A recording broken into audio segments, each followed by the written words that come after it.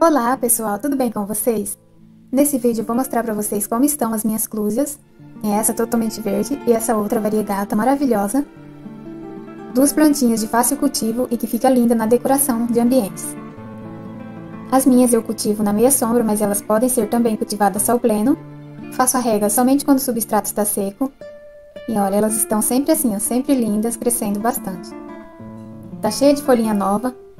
É uma planta super resistente. Essa aqui tem a folha bem verdinha, bem brilhante. Muito bonita. Olha como ela é linda.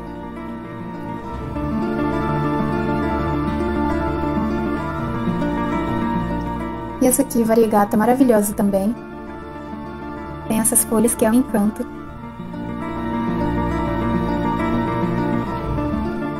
Então, esse foi o vídeo de hoje. Eu queria compartilhar com vocês como estão lindas as minhas clúzias. Espero que vocês tenham gostado.